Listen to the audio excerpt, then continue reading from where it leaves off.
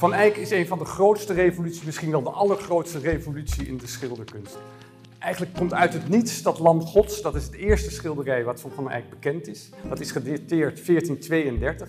En eigenlijk lijkt dat als een soort UFO neer te dalen in de kunstgeschiedenis.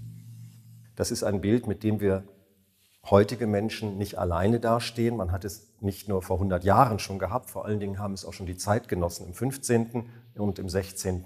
Jahrhundert gehabt. Also Dürer, Vasari, Van Mander äußern sich ja alle in demselben Sinne, dass Jan van Eyck ein Bahnbrecher, ein Neuerer und ein äh, Gründervater einer ganzen Schule der Malerei ist. Helaas weten we bijna niets over de vroege jaren van Van Eyck. We weten niet eens wanneer hij geboren is. We vermoeden zo rond 1390, 1400. En waarschijnlijk in Maas-Eyck. Hij heet Van Eyck en waarschijnlijk is dat afgeleid van het kleine dorpje Maas-Eyck in Limburg. Ich persönlich glaube, dass Jan van Eyck gegen 1400 geboren wurde. Das liegt aus verschiedenen Gründen nahe. Und wenn das zutreffen sollte, dann wäre er, sagen wir mal, zwischen 1410 und 1415 in die Malerlehre gekommen. Die hat er sicherlich bei einem Meister in einem der größeren Zentren absolviert. Aber wo das war, das wissen wir nicht. Das kann zwischen Lüttich, Brügge, Brüssel, Gent überall gewesen sein.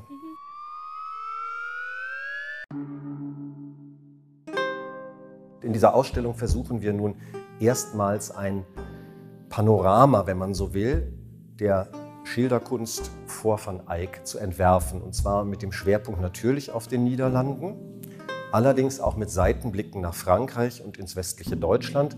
Allein deswegen, weil die Kunst damals international war, sich an die Grenzen, die wir heute haben zwischen den Staaten, natürlich nicht gehalten hat. Künstler ja auch bekanntlich gereist sind. Und weil die Anzahl der in den Niederlanden erhaltenen Tafelbilder sehr gering ist. De kunst rond 1400 wordt meestal aangeduid als de internationale gotiek of de internationale stijl. En dat is niet voor niets. Er is een soort stijl rond 1400 gangbaar, eigenlijk in heel Noordwest-Europa, die ontzettend op elkaar lijkt. Dus of je in Keulen zit, of in de Nederlanden, of in Frankrijk. Kunstenaars werken min of meer in dezelfde stijl. En dat komt in de eerste plaats omdat kunstenaars ontzettend gewoon zijn te reizen.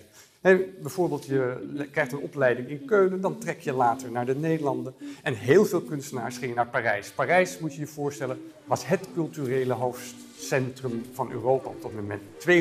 200.000 inwoners, alle belangrijke edellieden hadden daar hun paleis. Het was echt het centrum waar je heen ging als je als ambitieuze kunstenaar iets wilde doen. Naast Parijs was Dijon een van de allerbelangrijkste steden.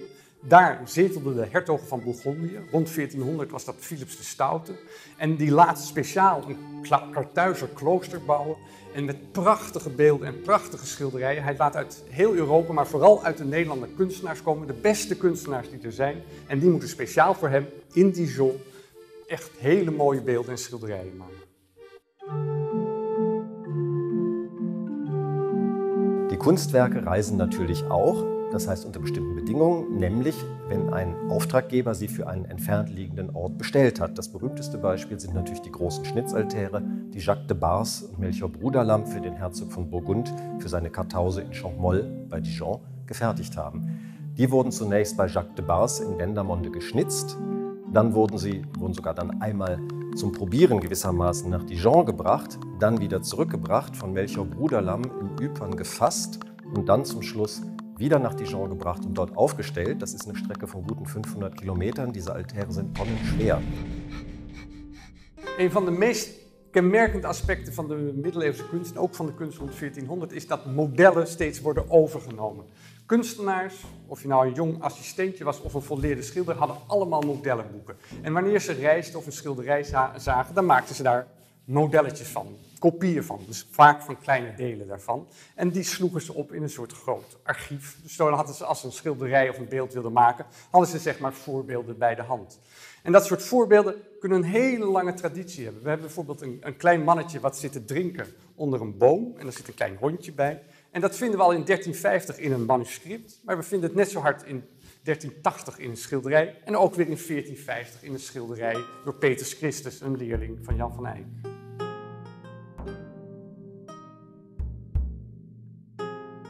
Wir wissen nicht, was Jan van Eyck gesehen haben kann. Wir wissen ja noch nicht mal, wo er überall war. Wahrscheinlich ist natürlich, dass er kein einziges von den Werken gesehen hat, die hier auf der Ausstellung waren. Das macht aber nichts, weil Jan van Eyck mit Sicherheit Werke gesehen hat und zum Ausgangspunkt seiner eigenen Kunst bis zu einem gewissen Grade genommen hat, die sehr ähnlich waren wie die Werke, die wir hier haben. Man muss sich ja immer vor Augen führen, äh, wir haben vielleicht 25 Werke, 25, 30 Werke aus dieser Zeit erhalten. Es müssen aber viele, viele tausend gewesen sein, die natürlich von ihren malerischen Möglichkeiten und vom Stil her ähnlich zu denen waren, die erhalten sind. Uit, uit oude griefstukken weten we dat er enorme wandschilderingen werden gemaakt. Allemaal verloren. Maar ook grote schilderijen met hele mooie verhalende voorstellingen. En uit documenten, ja, dan kan je het lezen, maar dan heb je geen visueel beeld erbij. Gelukkig in de eind 15e eeuw, in de 16e eeuw, maakt men kopieën, geschilderde kopieën, naar die vroege voorbeelden uit 1400. En in de tentoonstelling laten we er een aantal zien. En een van de allermooiste is een leven van de heilige Antonius, die verleid wordt door mooie dames. Dat schilderij is waarschijnlijk zo rond 1550 gemaakt, maar naar een voorbeeld, heel precies gekopieerd naar een voorbeeld uit 1420. En het is een heel cruciaal stuk, want opeens blijkt het dus dat er rond 1420 grote schilderijen werden gemaakt in een landschap met hele verhalende voorstellingen. En juist dat verhalende voorstelling is wat Jan van Eyck zo rond 1420, 30 uh, heel uitgewerkt gaat doen.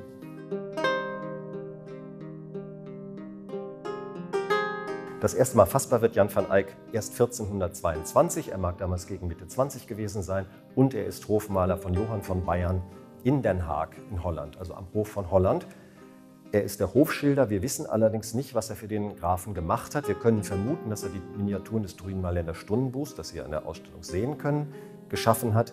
Jan bleibt bis Anfang 1425 der Hofmaler von Johann von Bayern. Dann verliert er diesen Posten, weil Johann von Bayern ermordet wird. Jan van Eyck ist dann arbeitslos, wechselt aber wenige Monate später in den Dienst von Philipp dem Guten von Burgund über. Philipp der Gute wird der Nachfolger als Graf von Holland von Johann von Bayern und übernimmt gewissermaßen Jan van Eyck als seinen Hofmaler. Jan macht dann ja verschiedene Reisen für den Herzog. Das ist uns durch Dokumente bekannt, obwohl wir nicht genau wissen, wo der eigentlich hingefahren ist. Zumindest meistens wissen wir es nicht. Von einer Reise abgesehen, die er im Jahr 1428, 29 nach Portugal unternommen hat, mit einer burgundischen Gesandtschaft, bei der es darum ging, die Hand der portugiesischen Prinzessin Isabella für Herzog Philipp von Burgund zu gewinnen. Und bei der Gelegenheit sollte Jan van Eyck ein Bildnis der Prinzessin malen. Das hat er auch gemacht.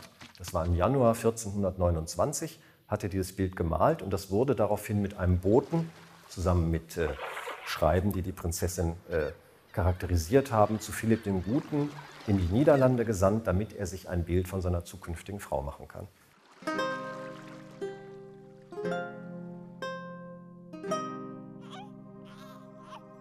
Waarom is Jan van Eyck nou zo ongelooflijk belangrijk? Wat, wat is nou eigenlijk die revolutie? Er zijn een paar dingen waar hij echt helemaal nieuw mee is. Eén daarvan is dat, dat hij het licht gaat schilderen. Dus uh, in die schilderij komt opeens licht. En door licht zie je materieel. Hè? Zie je waarom iets van hout is, waarom iets van stof is. Voor die tijd, als iets van hout is, is het gewoon een bruin vlak.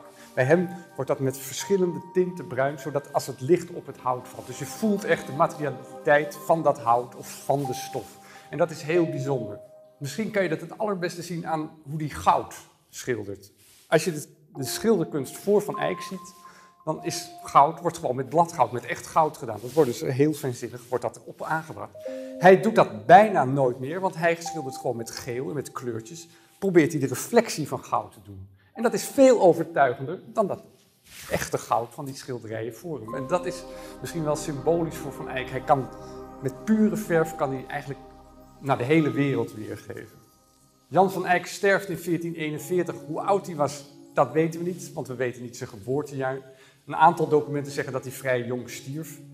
Hij was toen zeer succesvol en waarschijnlijk gaat dat atelier, waar waarschijnlijk tien, misschien wel twaalf assistenten werkten, nog een tijdje na zijn dood door en waarschijnlijk onder leiding van zijn vrouw Margaretha. Zijn stijl gaat in ieder geval de hele wereld over. Na 1441 wordt de stijl van Van Eyck, Vlaamse primitieve, de vroeg-Nederlandse schilderkunst, wordt heel algemeen en tot in Italië, Duitsland, Frankrijk wordt dat de hoogste standaard die je kan halen.